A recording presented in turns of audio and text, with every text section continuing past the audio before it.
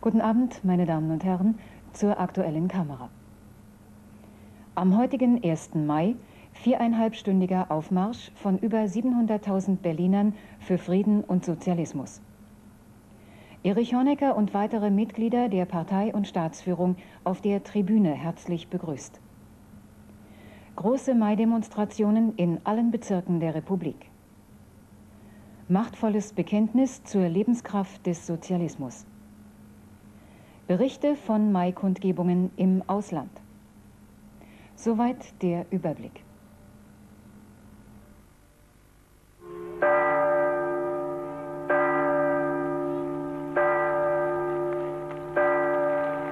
Erster Mai 1989 in der Hauptstadt.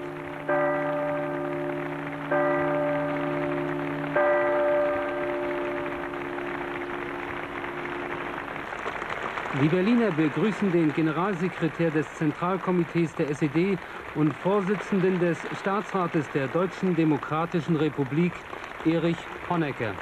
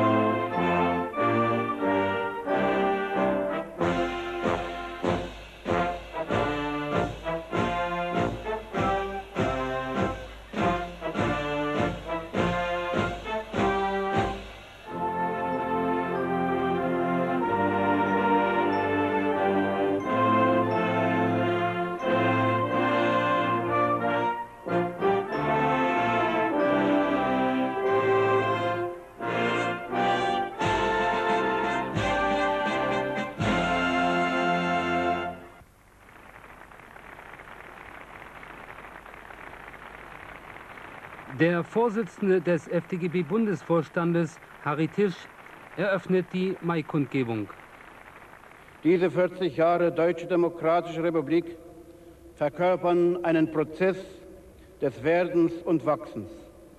Aus den Trümmern des Zweiten Weltkrieges wurde ein blühendes Land. In der ganzen Republik bekunden wir heute den gemeinsamen Willen, alles in unseren Kräften Stehende zu tun, damit in unserem Vaterland die Werte, die Lebenskraft und die Attraktivität des Sozialismus für jedermann noch deutlich spürbarer wird. Mit Schöpfertum und Initiative verwirklichen wir die Beschlüsse des 11. Parteitages der Sozialistischen Einheitspartei Deutschlands. Im sozialistischen Wettbewerb ringen wir um die Erfüllung und gezielte Überbietung der anspruchsvollen Planaufgaben dieses Jahres.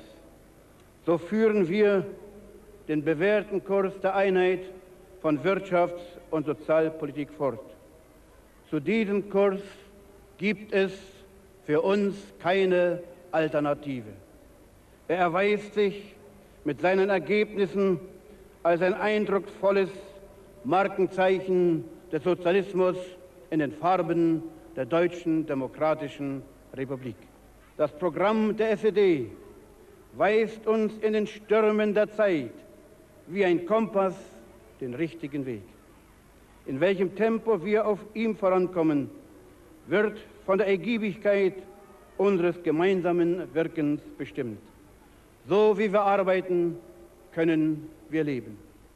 In 40 Jahren entstand in der DDR eine Gesellschaftsordnung mit wahrhaft menschlichem Antlitz.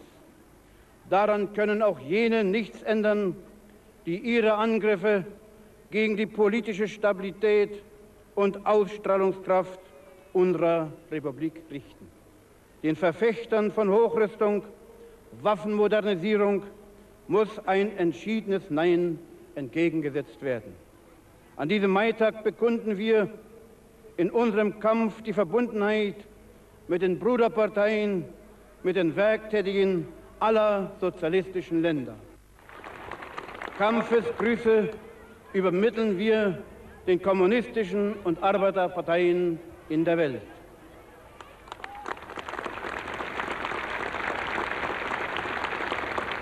Wir grüßen die Völker Afrikas, Asiens und Lateinamerikas. Es lebe der proletarische Internationalismus, es lebe der 1. Mai 1989.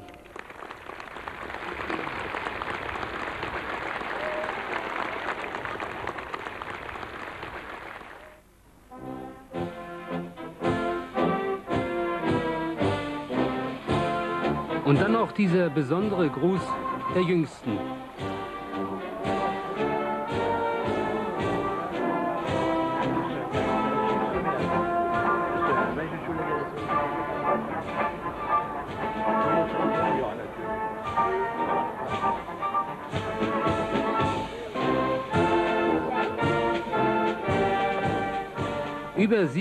700.000 kommen heute hierher in die traditionsreiche Karl-Marx-Allee, bekunden in diesem für die DDR so geschichtsreichen Jahr ihre Verbundenheit mit einer Politik, die sich in der Praxis bewährt hat.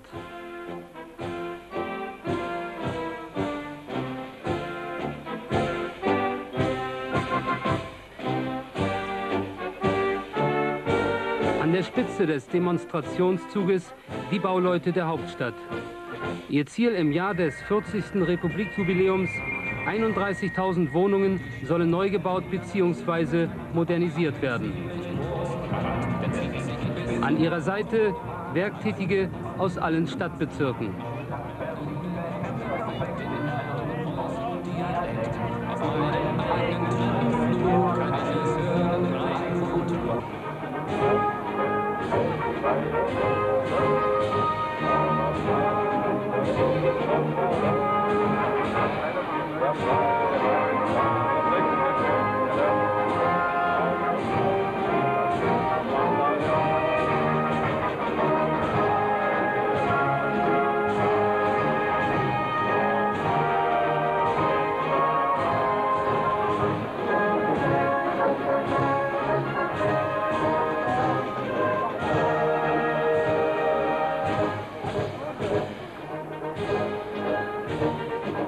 Abrüstung ein weiteres Thema dieser Manifestation, die am Ende viereinhalb Stunden dauern wird und vom DDR-Fernsehen direkt übertragen wurde.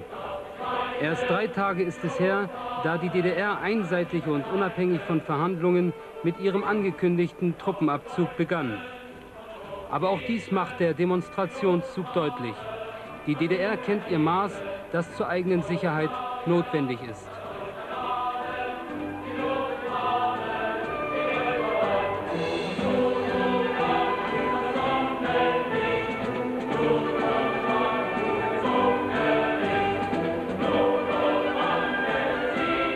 Die an diesem herrlichen Maisonnentag den Charakter der Demonstration prägen.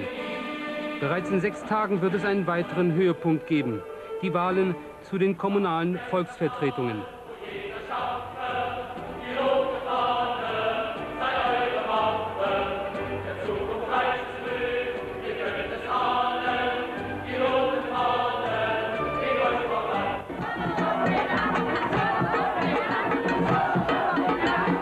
Ausländische Bürger, die in der DDR leben und arbeiten, verleihen dem Demonstrationszug ein Stück Exotik.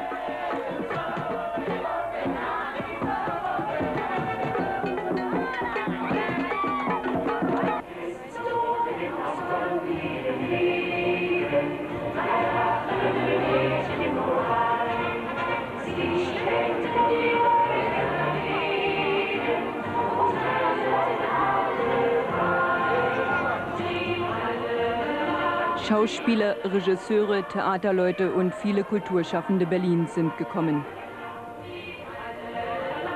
Zahlreiche Stätten für Kunst und Bildung, die es vor wenigen Jahren noch nicht gab, bereichern nun das geistige Leben der Hauptstadt.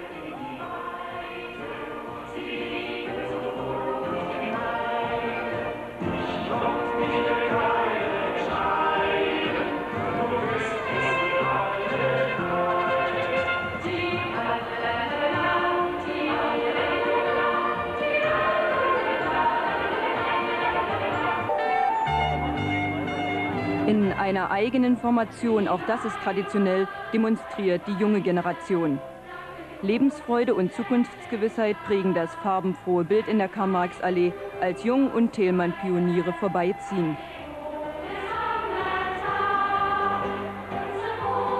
Keine 14 Tage werden mehr vergehen, bis die Jugend unseres Landes zum Pfingsttreffen der FDJ in Berlin zusammenkommt. Der Feier des Verbandes zum 40. Jahrestag unserer Republik.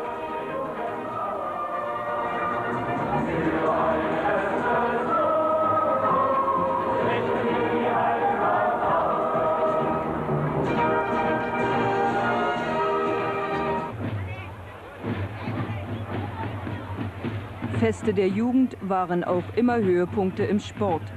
Und so werden junge Sportler die Kampfdemonstration und die Revue im Stadion der Weltjugend Mitte Mai mit eindrucksvollen Bildern beleben.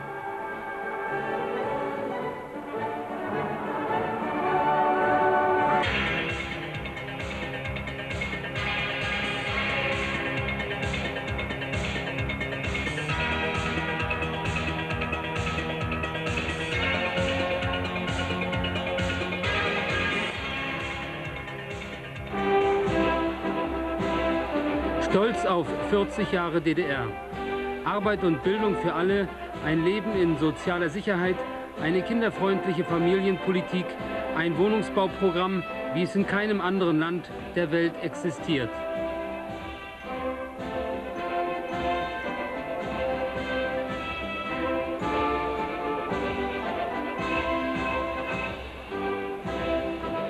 40 Jahre DDR, das heißt auch, wir haben noch viel mit uns vor. Die Berliner Industrie will dabei mit vorangehen, kommt zu dieser Mai-Demonstration mit einer anteiligen Planerfüllung von über 33 Prozent.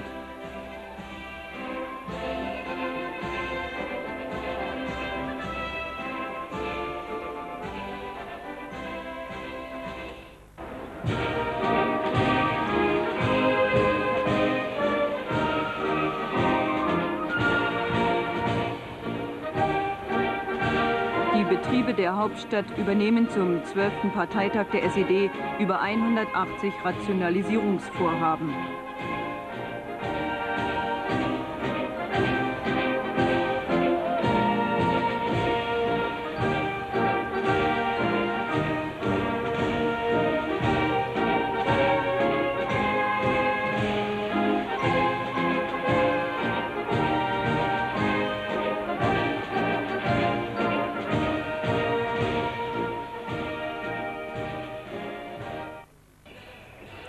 Jeder Stadtbezirk wartet heute mit seinen Kandidaten zur Kommunalwahl auf.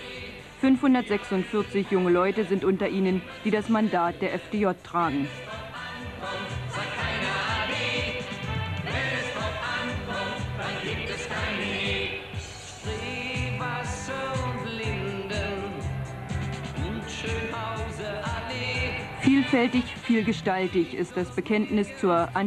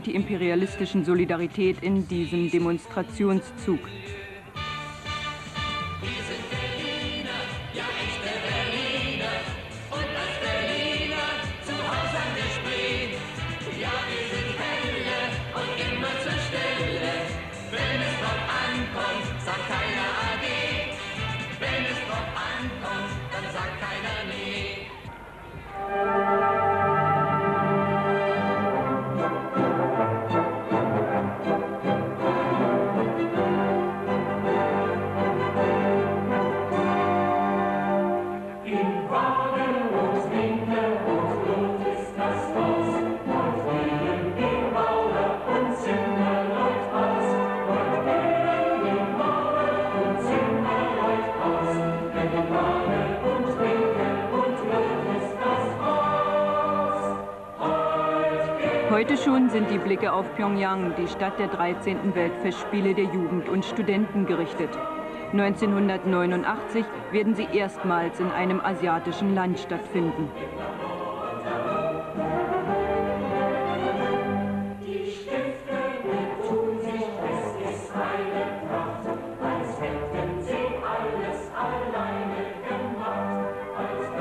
Neue Häuser überall. Die Berliner Wohnungsbauer errichten sie in diesem Jahr vor allem in Berlins jüngstem Stadtbezirk Hellersdorf.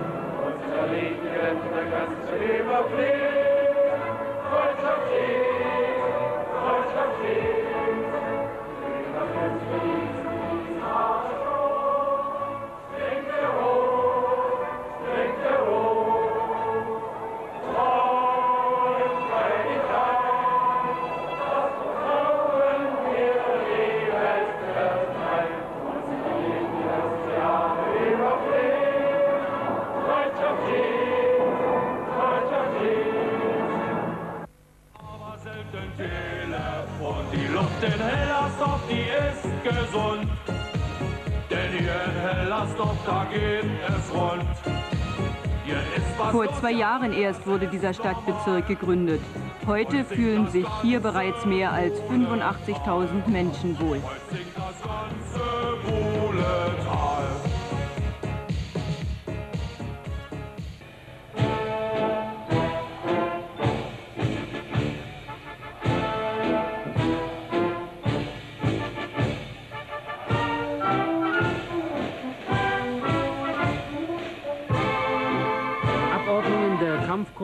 Berliner Betrieben beschließen traditionell diese Stunden.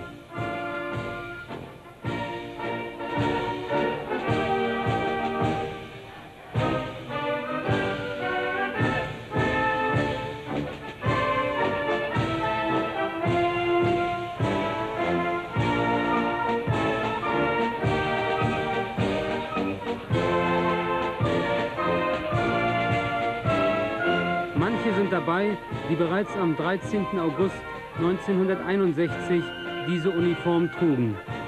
Was damals wurde, ist bekannt. Und bekannt ist auch, dass Europa seit diesem 13. August trotz manch inszenierter Spannungsmacherei ruhiger leben konnte, dass sich die europäischen Beziehungen auf souveräner Basis entwickelten.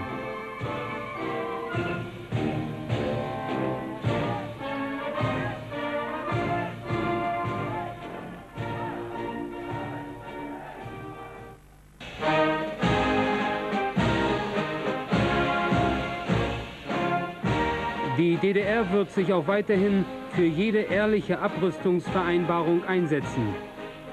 Aber sie wird es auch weiterhin verstehen, zu jeder Zeit ihre sozialistischen Errungenschaften zu verteidigen.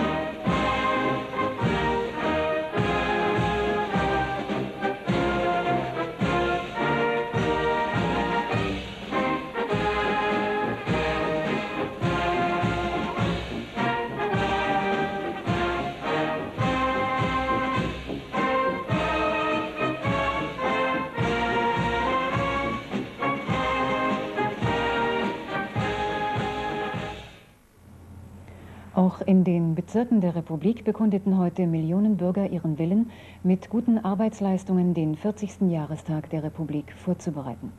Unsere Korrespondenten berichten. Im Demonstrationszug in Cottbus die Erbauer des Kraftwerkes Jenschwalde. Mit der Übergabe des sechsten 500 Megawatt Blocks fand im März das größte Investitionsvorhaben der DDR-Energiewirtschaft seinen Abschluss. Vorbereitung auf das Festival der sorbischen Kultur und die Arbeiterfestspiele, die im nächsten Jahr im Kohle- und Energiebezirk stattfinden werden. Dresdens Handwerker verpflichten sich zu zusätzlichen Dienstleistungen für die Bevölkerung. Ein Begriff für das Forschungszentrum der Mikroelektronik ist der 1 Megabit Schaltkreis. Jetzt haben die Forscher noch höhere Aufgaben im Visier.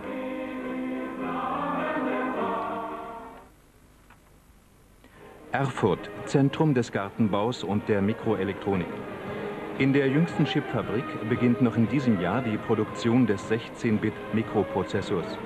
Seine Leistung 2,5 Rechenoperationen pro Sekunde.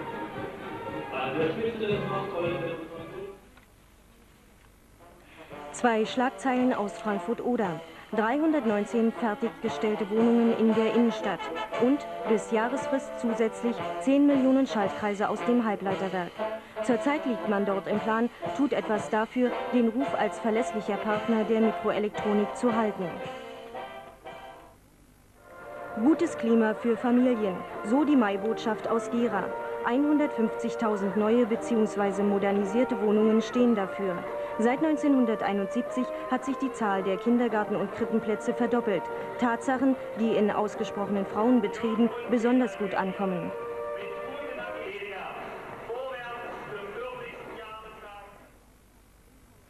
Festlicher Demonstrationsauftakt in Halle. In zwei Wochen sind Sie in Berlin dabei, 3000 FDJler des Bezirkes delegiert zum Pfingsttreffen der FDJ. Zeitzer Initiativen des Jahrgangs 89 sind hier gefragt. In der Aktion Max braucht Schrott haben die FDJler im Republikmaßstab die Nase vorn. Teilnehmer am Pfingsttreffen eröffnen die Demonstration in Karl-Marx-Stadt. Unter ihnen Studenten und Absolventen der Technischen Universität. Sie verweisen auf eine solide, praxisverbundene Ausbildung. Davon zeugen 18 Koordinierungs- und 180 Leistungsverträge mit Betrieben und Kombinaten. Einer der Praxispartner das Werkzeugkombinat Fritz Heckert. Auf erfüllte Produktions- und Exportpläne verweisen die Werktätigen des Leipziger Stammbetriebes von Takra. Internationalität und Solidarität. Studenten und Absolventen des Herder-Instituts im Maizug der Leipziger Werktätigen. Die Schwermaschinenbauer bestimmen das Bild in Magdeburg. Mit einem speziellen Kombinatsbetrieb demonstriert das Ernst-Thälmann-Werk die enge Verknüpfung von Wissenschaft und Produktion. Mehr als 3000 Ärzte bildete die Medizinische Akademie bisher aus. Sie hat außerdem einen guten Ruf als Zentrum der Neurobiologie und der Hirnforschung. Neubrandenburg typisch, das bäuerliche Kolorit im Agrarbezirk. Neubrandenburg ungewohnt, Spitzenkönner aus den Stadien der Welt im Demonstrationszug. Sigrun Burdas, Olympiasiegerin von Seoul, inmitten ihrer Neubrandenburger Clubkameraden. Nicht nur optisch gesehen sind sie ein reizvoller Mittelpunkt des Zuges rund um das Potsdamer Kalibknecht-Forum. Die Obstbauern aus Werder. Ihr wollen mehr Obst und Gemüse auf den Ladentisch. Potsdams Lehrer bleiben ihrem Ruf treu. Sie kündigen wissenschaftlich fundierte Beiträge zum Pädagogischen Kongress an. Die Architektur ist unverkennbar. 1. Mai in Rostock. Hohe Fangergebnisse bei niedrigen Kosten. Dazu bekennen sich die Hochseefischer. Plantreue beim Schiffsbau, das ist das Ziel der Werftarbeiter. Denn siebenmal soll in diesem Jahr ein Schiff vom Stapel laufen. Schwerin als Industriestadt. Plastverarbeitungsmaschinen, technische und andere Konsumgüter dokumentieren den industriellen Aufschwung ebenso wie die Erzeugnisse des Clement-Gottwald-Werkes. Im Demonstrationszug vietnamesische Werktätige. Sie äußern ihre Zustimmung zum kommunalen Wahlrecht für ausländische Bürger. Mai-Demonstration in Suhl. Mit erfüllten Plänen gehen die Werktätigen des südlichsten Bezirkes zur Wahl. 35 Reviere betreuen die Forstarbeiter des Bezirkes. Vier Jahrzehnte Zweiradproduktion in Suhl. Das Fahrzeug- und Jagdwaffenwerk Ernst Thälmann präsentiert Oldtimer und neueste Erzeugnisse von der AWO über Simson-Mopeds, Roller, Mokicks bis zur Enduro-Geländemaschine. Im Ausland standen die vielfältigen Kundgebungen zum 1. Mai ganz im Zeichen des Kampfes für Frieden, Abrüstung und sozialen Fortschritt. Mit dem zehnten Glockenschlag vom Spassky-Turm begann die Demonstration auf dem Roten Platz. Auf der Ehrentribüne der Generalsekretär des ZK der KPDSU und Vorsitzende des Präsidiums des Obersten Sowjets, Michael Gorbatschow und weitere Mitglieder der Partei und Staatsführung. Auf Transparenten berichteten Arbeitskollektive aus den 32 Stadtbezirken über die erfolgreiche Bilanz ihrer Arbeit. Hier in Moskau, wo im vergangenen Jahr der INF-Vertrag unterzeichnet wurde, immer wieder die Forderung, den Kampf für weitere Abrüstungsschritte zu verstärken.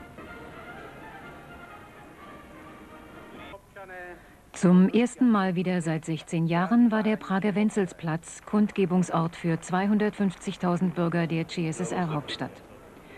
In seiner Ansprache bekräftigte der Generalsekretär des ZK KPC, Milos Jakisch, den Willen, die Zusammenarbeit mit den sozialistischen Ländern weiter auszubauen. Mit großen Erwartungen sieht man deshalb hier dem bevorstehenden Besuch Erich Honeckers entgegen. In Warschau versammelten sich am Vormittag Zehntausende zur Maikundgebung auf dem Platz des Sieges. Wojciech Jaruzelski, erster Sekretär des ZK der PVAP, erinnerte an die rund sechs Millionen Opfer des hitlerfaschistischen Überfalls und forderte dazu auf, das sozialistische Polen durch gute Arbeit zu stärken.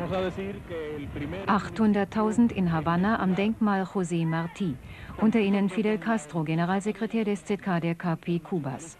Eine Demonstration unter der Losung Ewige Treue den Prinzipien des Sozialismus für ein starkes und unabhängiges Kuba.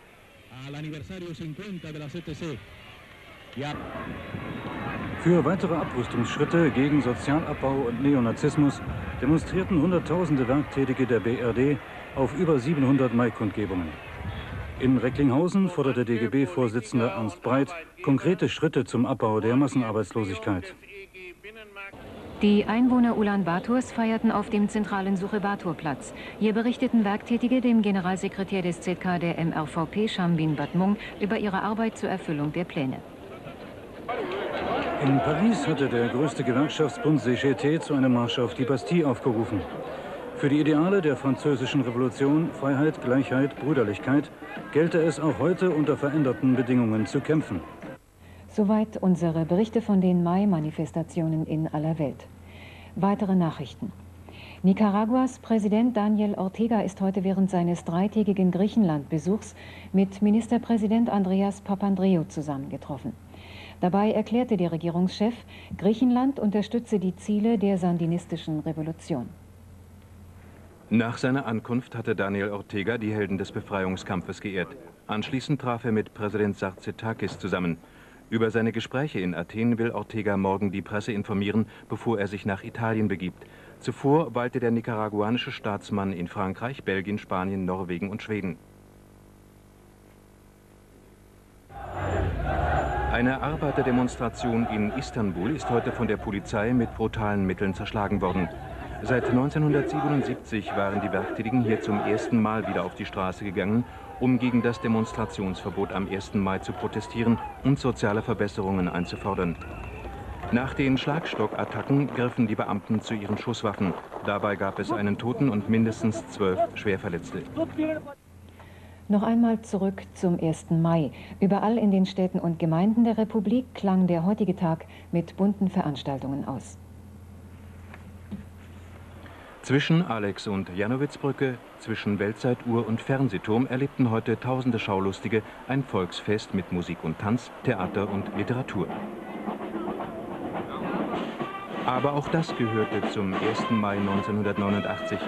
Die Berliner kamen in die Straße unter den Linden, um beim großen Wachaufzug der Nationalen Volksarmee dabei zu sein.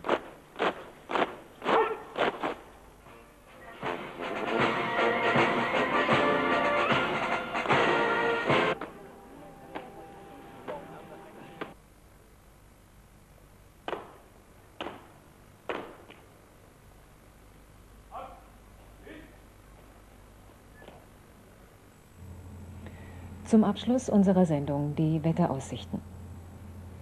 Nachts klar, 4 bis 0 Grad, Bodenfrostgefahr. Morgen heiter, teils wolkig, niederschlagsfrei, Höchsttemperaturen 14 bis 20 Grad. Meine Damen und Herren, die aktuelle Kamera meldet sich wieder im ersten Programm um 23.10 Uhr und im zweiten Programm um 21.30 Uhr.